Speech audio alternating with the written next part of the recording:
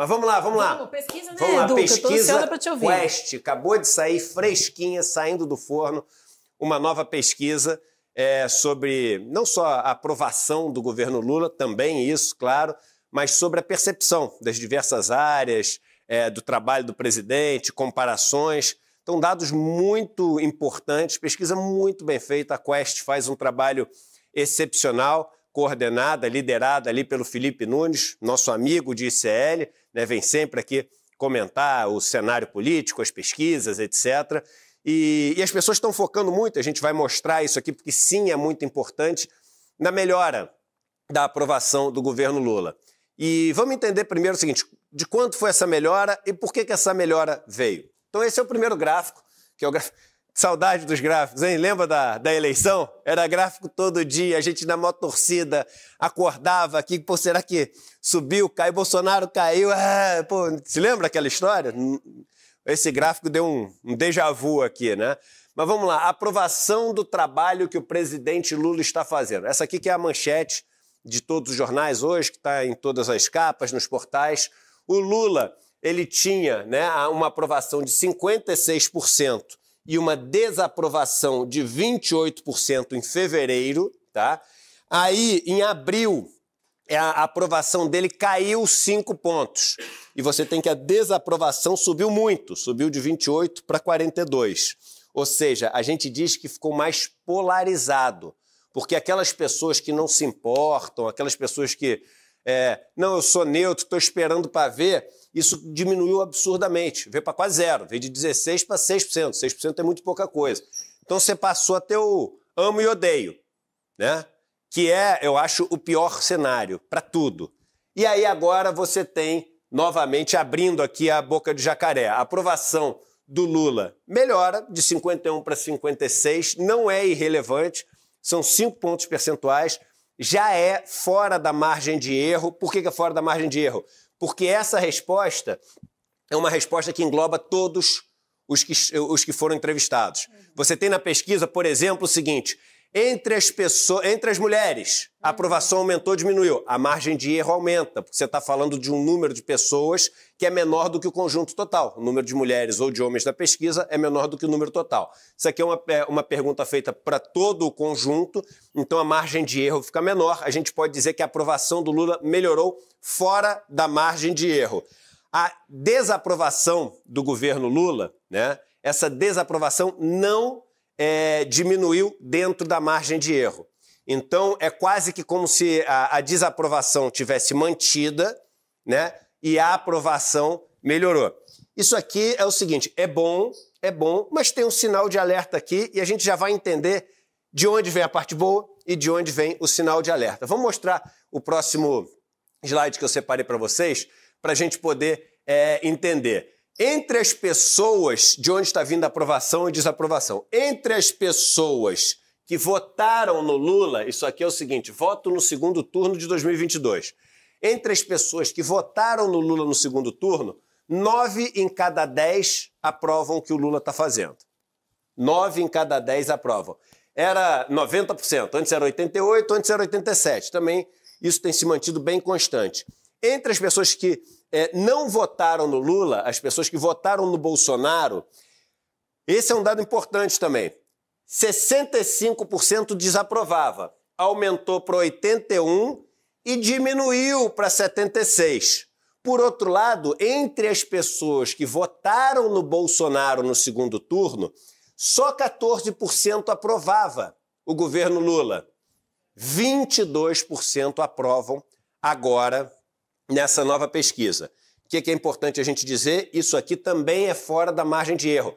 Essa margem de erro é maior, porque a gente está falando só das pessoas que votaram em Bolsonaro no segundo turno, então a gente está falando de um, um, um, percentual que é ali 30 e poucos por cento. Não é não, Eduardo, ele teve 49%, teve 49% dos votos válidos, aí teve as pessoas que não foram votar, teve as pessoas que votaram em branco, nulo. Então, a gente está falando de um, de um percentual que é menor do que 50%. A margem de erro aumenta, como a margem de erro aumenta, a gente tem que ficar atento que as variações são maiores, os erros são maiores, mas mesmo assim, a gente está falando de 8 pontos percentuais aqui, isso aqui está fora da margem de erro. Então, Lula ganhou é, capital político, Lula ganhou é, boa vontade, simpatia entre bolsonaristas. Uhum. Entre bolsonaristas. Notícia boa. De onde será que está vindo essa, é, esse ganho, essa, é, esse capital político? Vamos para o próximo slide que a gente começa a entender isso. Próximo slide é o seguinte: a economia do Brasil nos últimos 12 meses. Então, ficou do mesmo jeito. É, é, é o grupo né, que, que é o maior grupo. Então, a gente está falando de quase 40% das pessoas é, que acham que a economia está da mesma forma que estava há um ano atrás.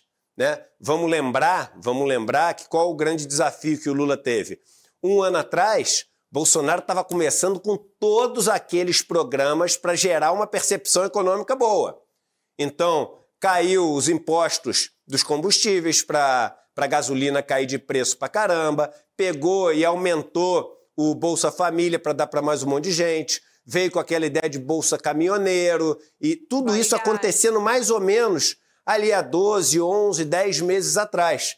Então, você comparar com dois anos atrás seria uma coisa, comparar com 12 meses atrás é, é difícil, porque várias coisas que o Bolsonaro fez foi ali só período eleitoral.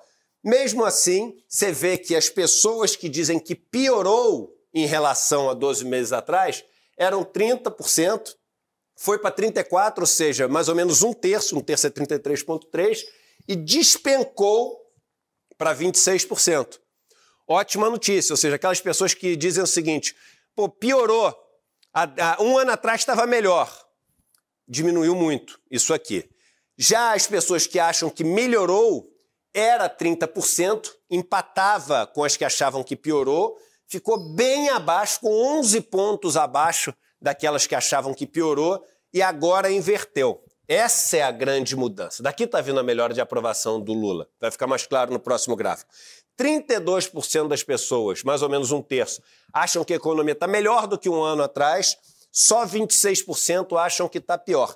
Esse X, esse cruzamento de percepções, essa, é, é, essa ultrapassagem dos que acham que a economia melhorou em relação aos que acham que a economia piorou, é, no final das contas, o responsável pela melhora da aprovação do Lula. It's the economy stupid, dizia o assessor do Bill Clinton. É a economia estúpida, é isso que importa. Era a dica do assessor do Clinton é, para ele durante as eleições. Pode falar do que você quiser, de, de floresta, aquecimento global, de minorias, de pauta essa e aquela. No final, você vai ser eleito ou não, é, se a economia estiver é, bem ou mal.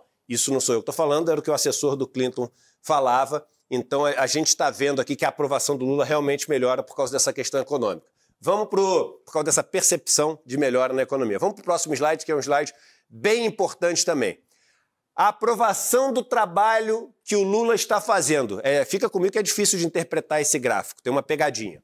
A aprovação do trabalho que o Lula está fazendo.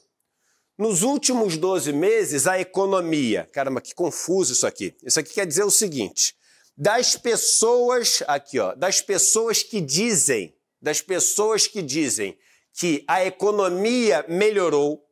Então, do grupo de pessoas que acha que a economia melhorou, volta no slide anterior, só para a gente entender de quem que a gente está falando.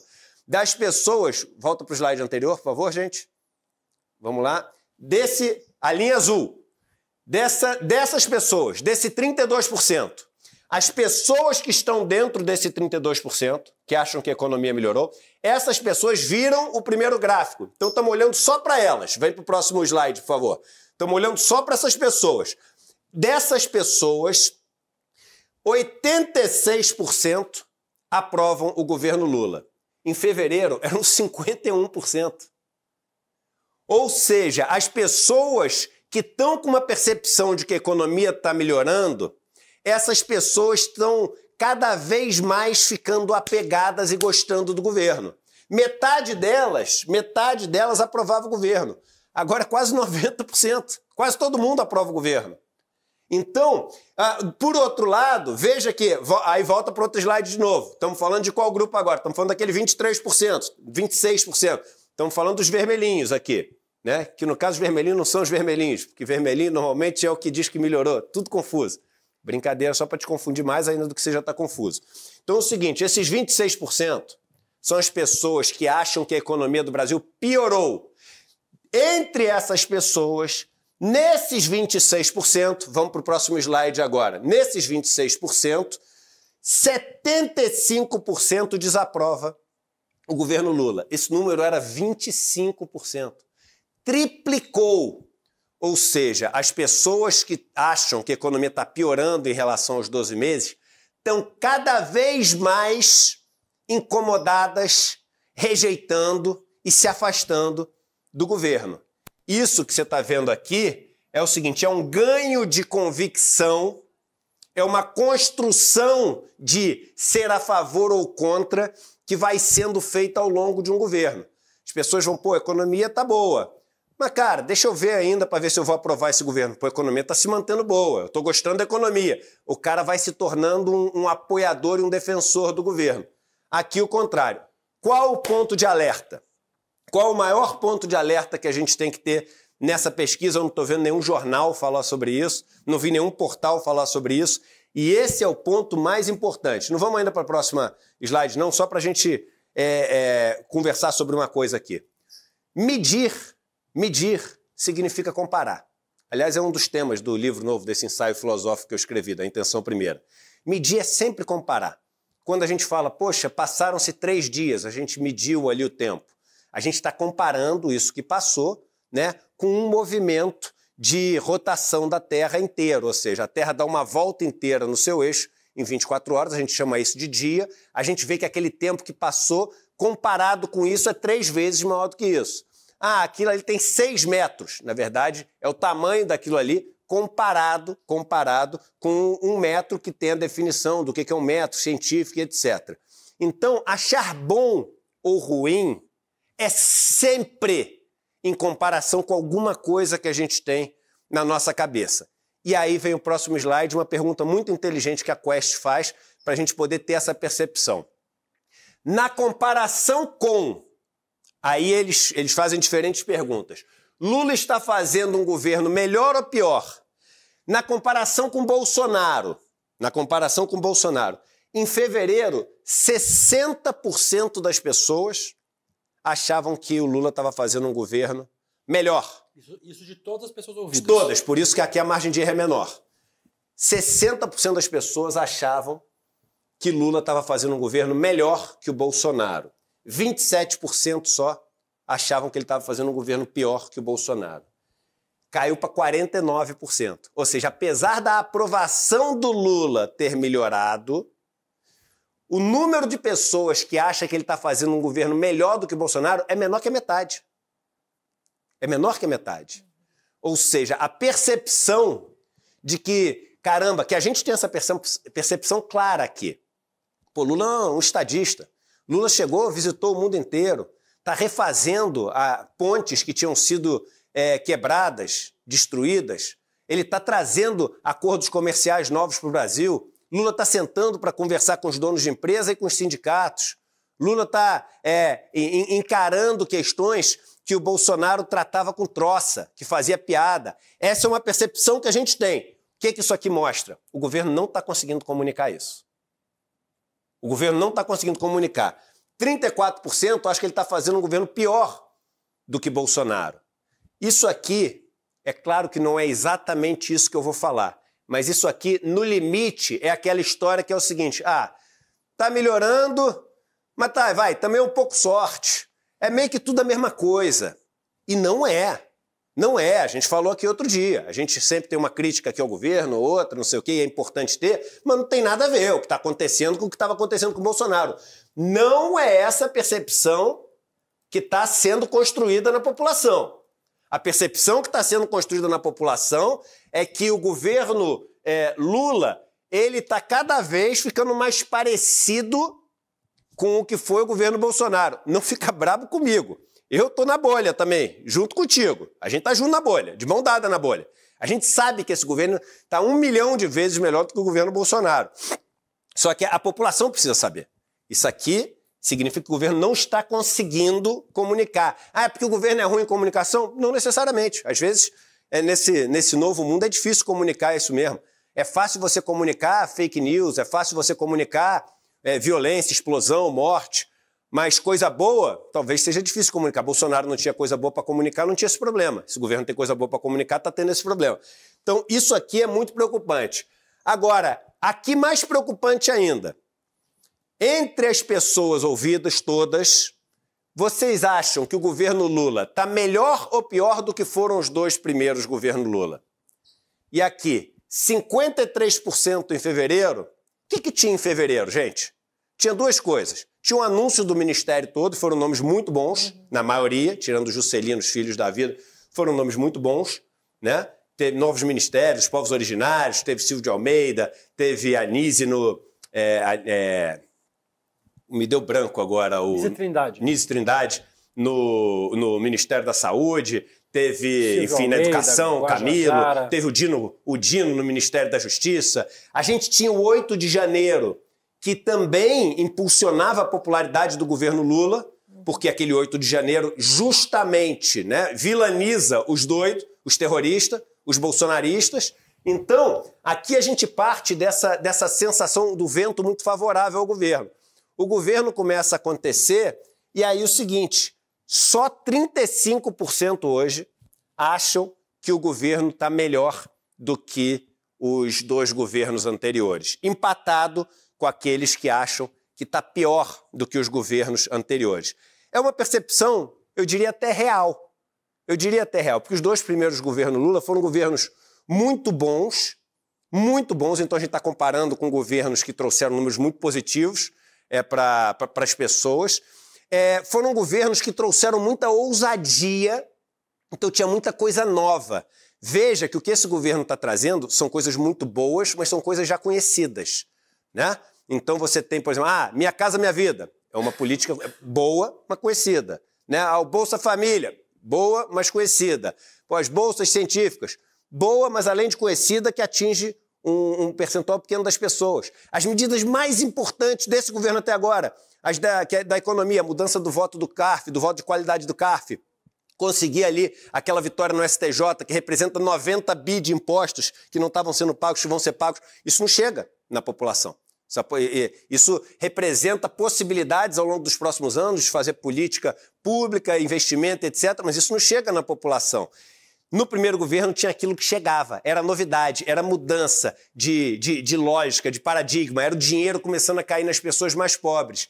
Então, também, o governo vai ter essa dificuldade. O governo Lula, comparado com os governos anteriores, não é o Eduardo que está falando, é uma percepção das pessoas é, ele não está sendo visto mais como um governo muito melhor, né? E, e aí a gente, eu acho que aqui são duas coisas, né? Eu acho que primeiro é um, um trabalho de comunicar o que o governo está fazendo, está fazendo coisas muito importantes, mas também de ousar um pouco mais. Eu acho que falta esse, a esse governo essa ousadia. Muitas pessoas e eu não preciso nem ver mais comentário nesse sentido, porque eu já sei o que vem, né? Muita pessoa chega e fala assim, mas como ousadia? Já viu o nosso Congresso? Já viu a dificuldade que ele tem? Já viu quem a gente elegeu? Pô, você sabe que o Arthur Lira, você sabe que não é só fazer, vai lá e faz ainda, deixa o cara governar. As coisas que a gente. A gente sabe qual o comentário de quem está torcendo a favor, e eu estou torcendo a favor também. Mas o ponto é: isso aqui é um número, isso aqui é um fato, isso aqui é um dado. Isso aqui não é opinião do Eduardo, não é opinião do William, saúde, William, não é opinião da, da Vivi. Isso aqui mostra que as pessoas estão com essa percepção de que esse governo não está tão melhor do que os dois últimos governos Lula. Pelo contrário, o número de pessoas que acha que é melhor é igual, ali na, dentro da margem de erro, com o número de pessoas que acha que é pior. E aí eu aqui provoco novamente o governo. Pô, vamos ser, vamos ser mais ousado. Mas como assim mais ousado? Vamos Vamos, já que a economia está indo bem, a gente está com esse vento nos empurrando, vamos dar aquela, vamos dar a, a, aquela forçada, né? Nesse embate com o Centrão, com Lira, com, com as mudanças estruturais que a gente tanto quer no país. É aquela puxada para a esquerda que eu disse que eu vou sempre tentar dar e que eu sempre tenho tentado dar aqui. Sem esse conflito, sem essa novidade, não é garantia que com o conflito e com a novidade as coisas vão dar certo. Mas sem esse conflito, sem essa novidade, sem essa ousadia de dar o passo novo a mais, você não consegue, na base da comparação, criar essa percepção de que você está fazendo uma coisa diferente, melhor, seja do que Bolsonaro, seja do que os outros governos Lula. Mas a pesquisa, no geral, uma pesquisa boa, mas que acende esse sinal de alerta aqui. Quem está segurando as pontas é a economia.